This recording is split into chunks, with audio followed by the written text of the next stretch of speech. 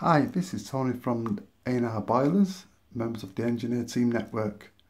And this particular boiler we're looking at is the Vaillant Ecotec Pro. And the problem with this boiler, we've got a fault code which is on the display here. You can see F29. And this is a, an ignition problem.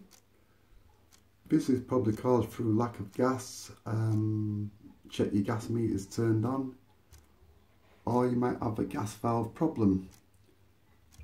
You can try to reset the boiler by pressing the reset button. If you press this button here, like that,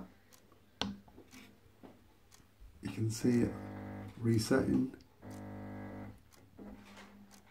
And hopefully, if that's everything's okay, the boiler should reignite and start firing up.